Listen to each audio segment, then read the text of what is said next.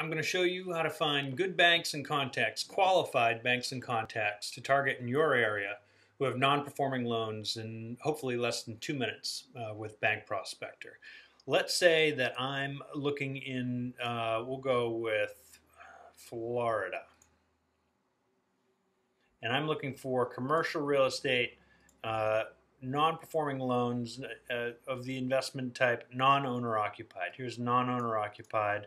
There's uh, not quite a billion at 146 banks. We'll get a list of those. Here they are. There's Ocean Bank up at the top. I'm going to watch them. Uh, Mercantile Bank, we'll watch them. And First Guarantee, we'll watch them. Go to Ocean Bank. Okay, these guys, there's no red or yellow flags here. Uh, these aren't the biggest ratios I've ever seen, but that's okay. They're a $3.5 billion bank. Uh, they have been working through some of their REO.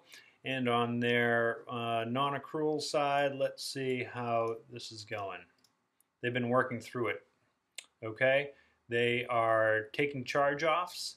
They have uh, 51 million in non-owner occupied uh, uh, CRE loans, and so that's good enough for me. Let's have a look at LinkedIn. Do I know anybody here? Uh, can I find anyone? There's some guys in special assets. Here's Pedro Max. There's a couple of private names there about in workout department. Uh, a couple of, I could look up this guy here if I wanted to, but I'm also in, interested in, let's just see what we can find here. It's 182 contacts. I could come down here and I could page through them if I wanted to like this. I'm going to do a quick search here. Uh, I've got George Gonzalez. So let's see.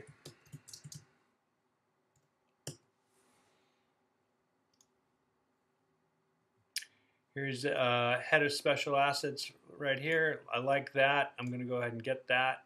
Okay. Yep. Here he is. Here's his number. There's an email.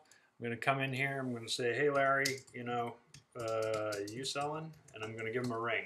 Okay? This is just a note for me to make. Let's go back and see what it would look like if uh, these guys weren't a good contact. Okay, here's our list. Mercantile. Let's look at First Guarantee Bank and Trust Company.